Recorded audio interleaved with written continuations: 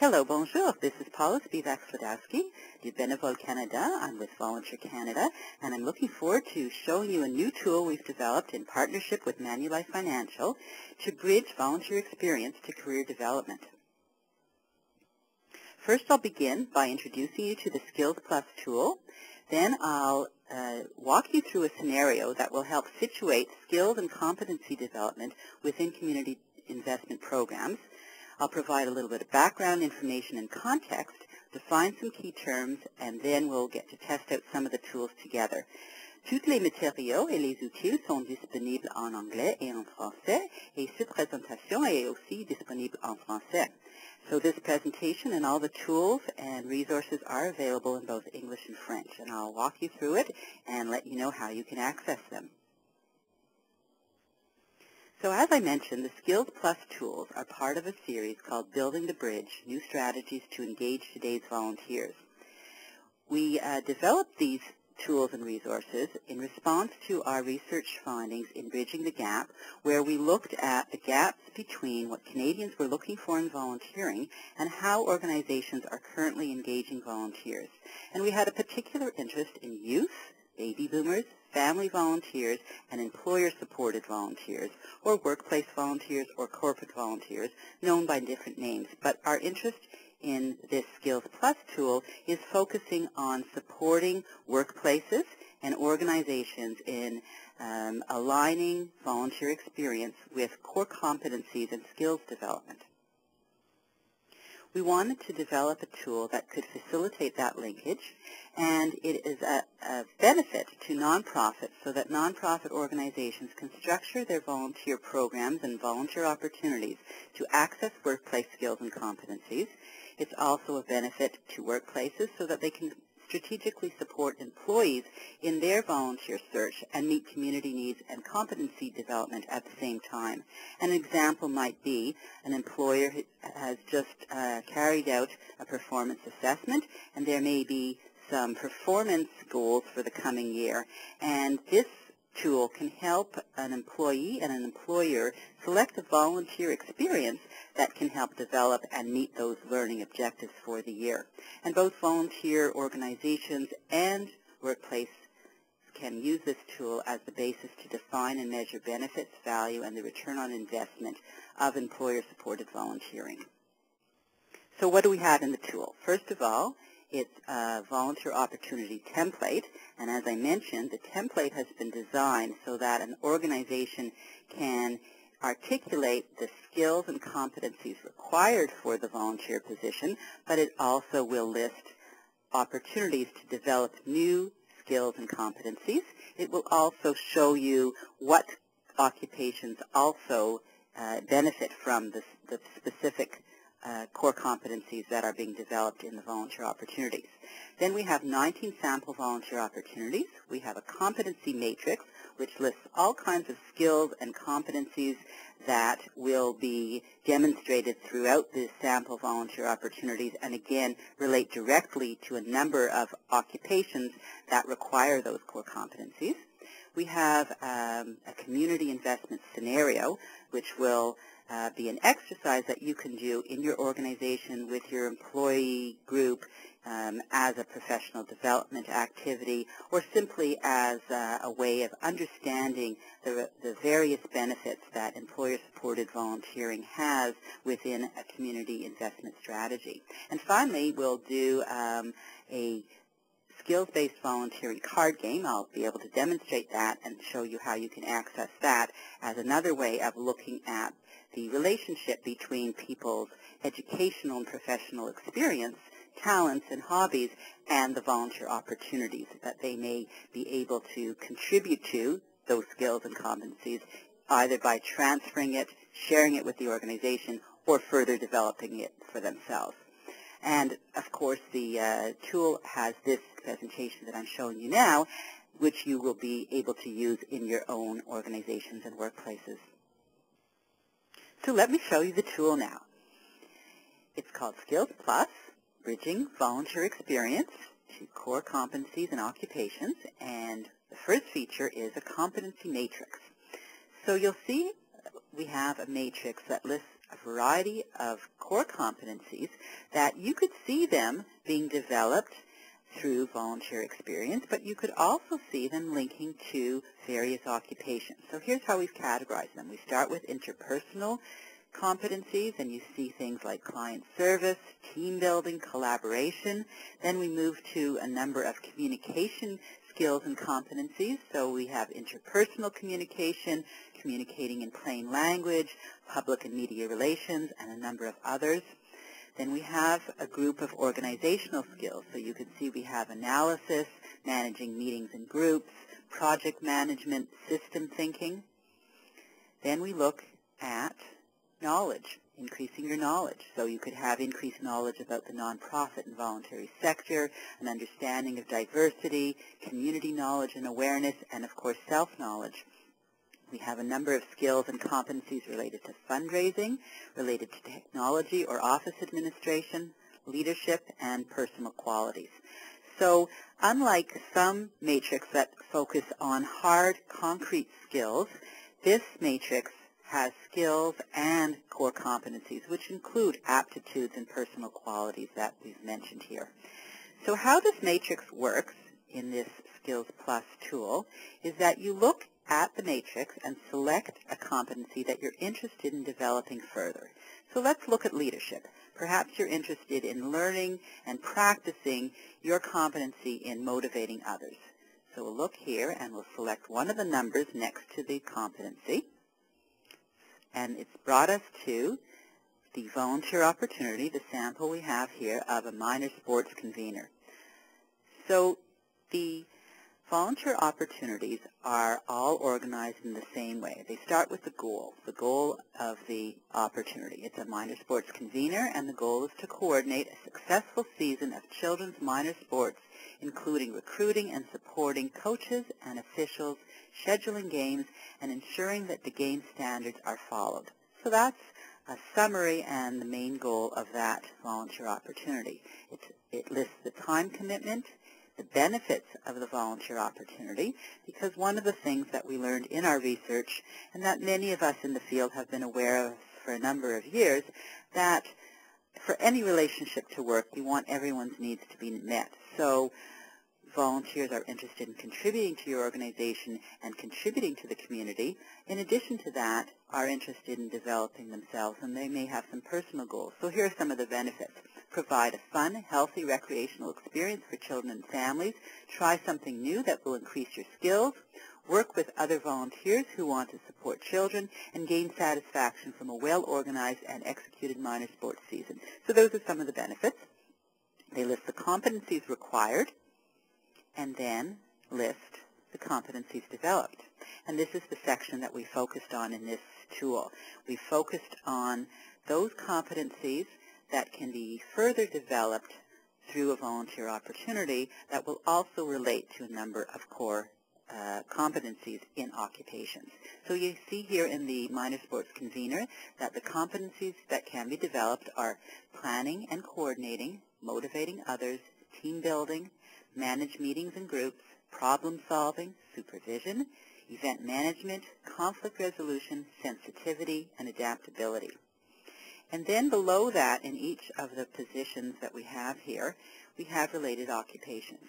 So, related to this minor sports convener, there could be supervisors, general office and administration support clerks, administrative officers, executive assistants, coaches, recreation, sports, and fitness program supervisors, and program leaders. And if you click on any of these related occupations, it will bring you to, let's look at coaches.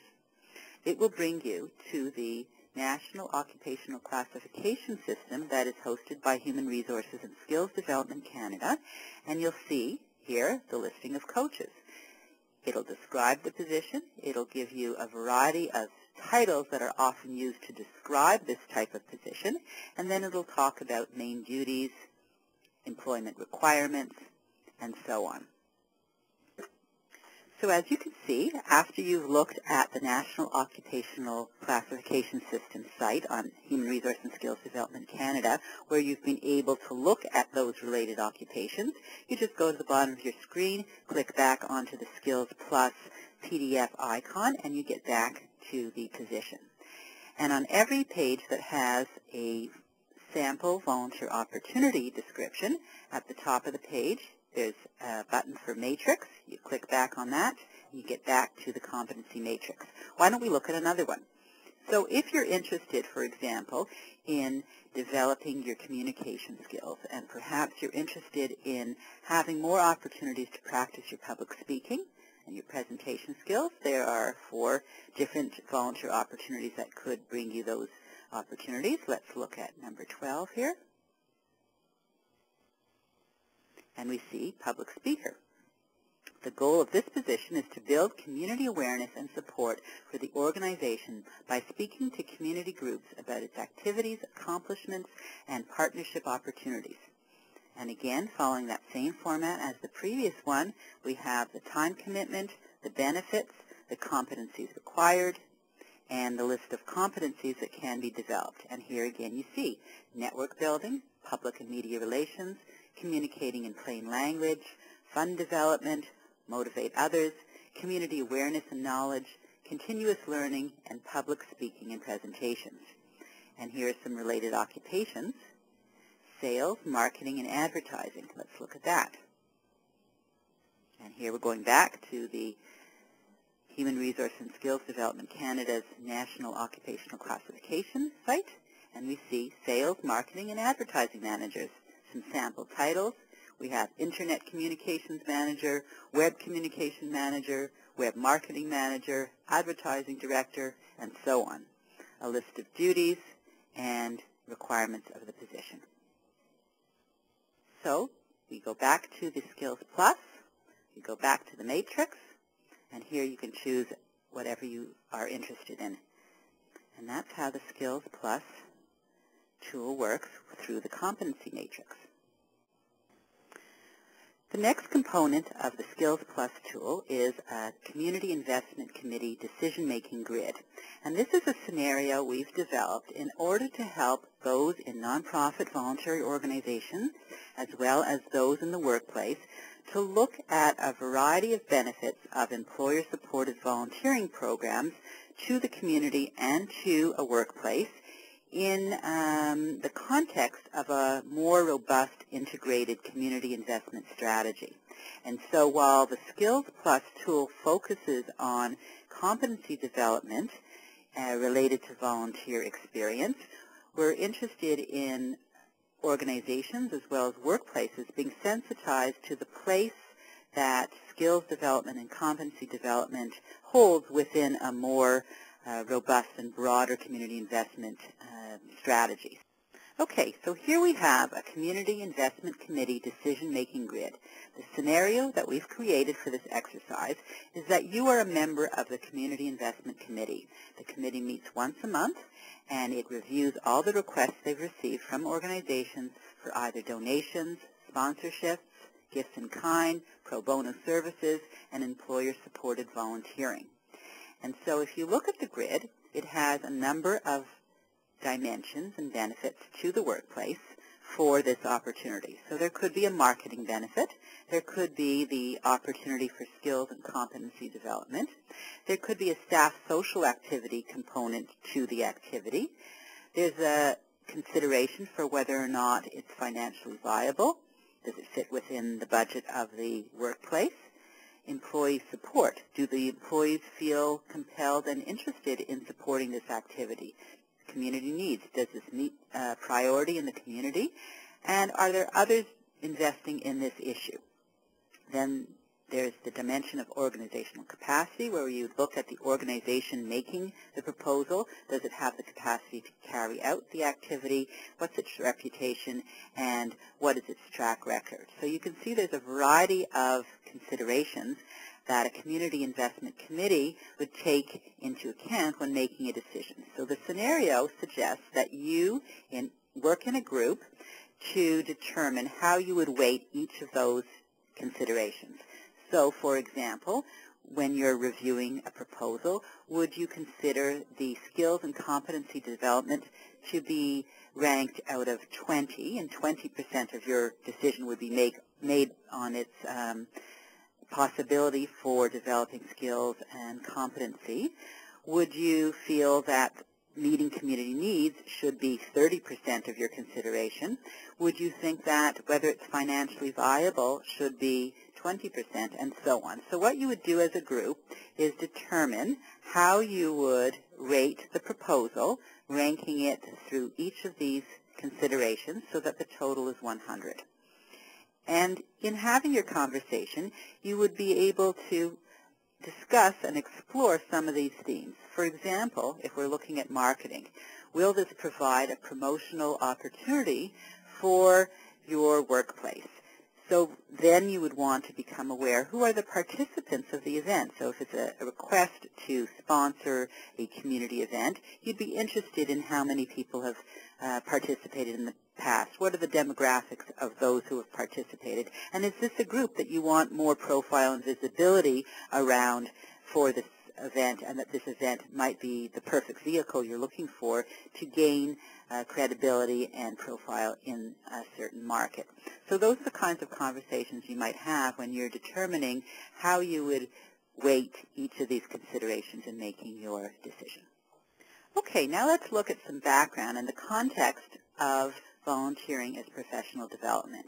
As I was mentioning earlier, that employer-supported volunteering and looking at the link between volunteer experience and the development of core competencies for various occupations is something that many are interested in being able to access and develop more fully. However, it comes within the context of a uh, great deal of research that has been done in Canada and around the world that looks at the benefits of employer-supported volunteering. So first we'll look at this uh, impact study that was done by Deloitte, and it showed that 91% of human resource managers believe that incorporating skills-based volunteering would provide valuable employee training and development. However, only 16% of companies regularly and intentionally offer these opportunities. So this was a key finding of this 2008 survey that was done. I mentioned the report that we did last summer, Bridging the Gap, which looked at the gap between what Canadians are looking for in volunteering and how organizations are currently engaging volunteers. And that was a partnership between Volunteer Canada and Manulife Financial. And the findings show that employer-supported volunteers tend to want more focused, skills-based volunteer opportunities. Many like to measure their efforts and know if the time they have contributed has been worthwhile. Yet at the same time, many want their volunteering to be completely different from what their work life has been. And one of the quotations that uh, really resonated with us is someone saying, I don't necessarily want to volunteer in what I do all day at work. An example being that if somebody is working in a bank, they don't automatically want to be placed on a finance committee. And here's some background into the uh, idea of broadening from skills to competency-based approach. So as I mentioned before, when we talk about skills, we're often talking about very concrete skills, very technical skills related to a specific task or activity in a occupation. However, when we talk about competency, we're including attitudes, aptitudes, and personal qualities that make a person suitable and better able to contribute to the commu work community in a workplace. So we have interpersonal skills, communication, organizational, increased knowledge, fundraising, technical office, and the Canada Survey of Giving, Volunteering, and Participating looked at those particular competencies. And when people were asked, have you gained skills and competencies as a result of your volunteer experience? This is what um, people identified. So 66% of people said, in fact, volunteering had increased their interpersonal skills. And 32% said that the volunteering had increased their fundraising skills and so on. So that we felt was a valuable um, piece of research for background to our Skills Plus tool. Here are some key terms that we looked at, just so that we're all uh, coming from the same understanding. Many terms are used by different environments and organizations in different ways, but we decided to look at um, a simple, more common definition so that, again, we could bridge the gap between organizations in the nonprofit and voluntary sector and workplace so that we're all speaking the same language. So when we talk about employer-supported volunteering, we're talking about a broad range of corporate policies and practices that companies can use to actively encourage and support employee volunteering. An example might be a workplace that allows an employee to volunteer a half day per month on their work time.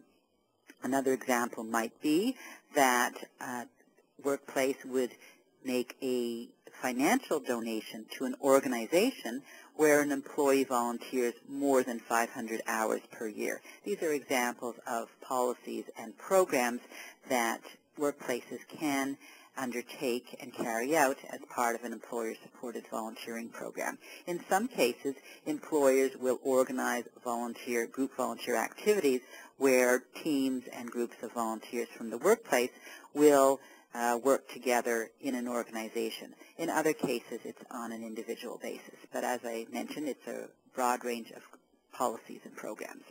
When we talk about skills-based volunteering, we're talking about strategic type of volunteerism that incorporates a range of skills to strengthen the operations and services of nonprofit organizations. And that definition comes from the Hands-On Network. And skills-based volunteering um, focuses on the skills that an individual has or the skills that an individual wants to acquire. And it looks at the opportunities in an organization to either contribute the skills or develop the skills. And an example could be somebody who has just completed an educational program on graphic design and wishes to contribute their skills to an organization, but also to refine their skills somewhat and to have an opportunity, of course, to enhance their profile and their portfolio when they're looking for employment in that area. So in this particular example that I'm giving, an organization would benefit from somebody with um, new knowledge and enthusiasm and the ability to create graphic designs for their organization at the same time as provide an opportunity to that individual to further develop that skill and to enhance their employability. So skills-based volunteering is a way of transferring skills either by offering, uh, further refining, or helping someone else develop those skills. To emphasize what we were talking about earlier, that competencies are broader than skills. It's a combination of skills, knowledge, abilities, qualities, and attitudes that allow employees to optimally perform their jobs. Plus, they add value to the workplace and the community. The skills plus tools clearly link employee competencies with volunteering. The occupational alignment that we chose to connect with, as mentioned earlier, is the National Occupational Classification System. It is uh, hosted by Human Resource and Skills Development Canada, and it is aligned with uh, a classification system that is used in many other regions of the world. So there's uh, an opportunity to transfer the terminology and skills and competencies that you are listing as part of your knowledge base and in your own uh, curriculum vitae and transfer that to other regions of the world as well. But it is based on the National Occupational Classification System that is currently um, adapted and housed um, by Human Resource and Skills Development Canada. And the example that we give here is the sales and marketing and advertising managers, and I showed you that earlier when we were linking from an op a volunteer opportunity. Now let's look at another tool that we've developed. It's a game, a skills-based volunteering card game. And the way it works is that we've created a number of titles or identifiers that somebody may use when they're approaching an organization. So someone might say that I am uh, an MBA student and I want to offer my business knowledge and new research skills in business development to your organization. Somebody might identify themselves as a human resource manager. Someone might identify themselves by their hobby. For example, they might say that they are a whitewater rafter or that they are a stamp collector. So what we've done is we've created a red deck of cards that has a number of different titles or identifiers. And then we have a second deck of cards that looks at whether you think of something directly related to that identifier, something indirectly related, or something completely different. So I'm going to show you the game now. And here's the skills-based volunteering deck of cards.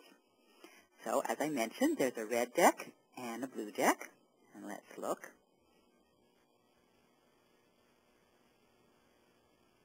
Oh, and this is just showing you the back of the cards for the blue deck.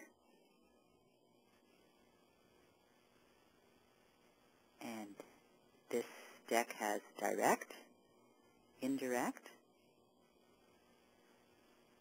and something completely different.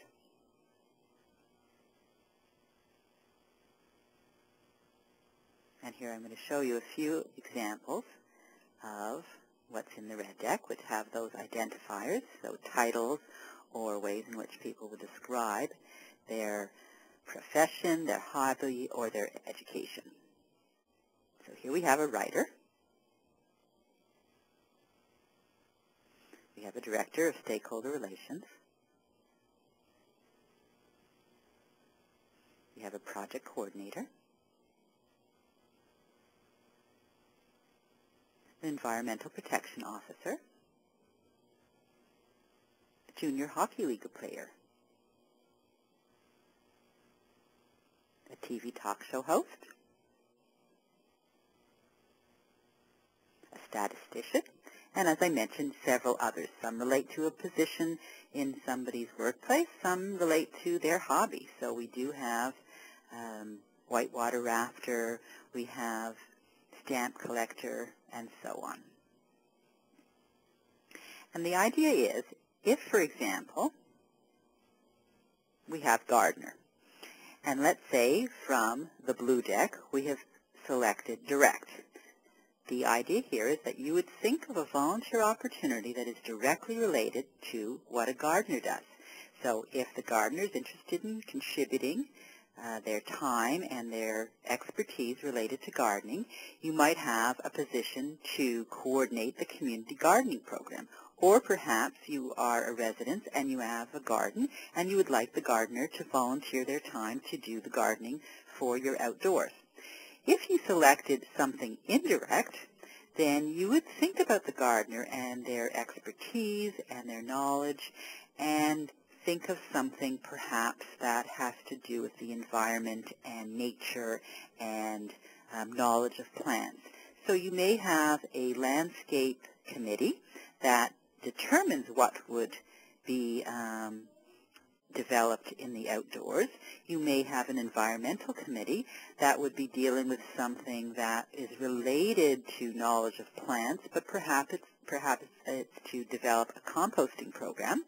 And if you selected the card that was something completely different, perhaps you would, again, thinking about the gardener and in your conversation, they may be um, talking about their love of nature and love of outdoors, and perhaps doing something completely different from gardening would be to be a chaperone with a group of teens going on a camping trip.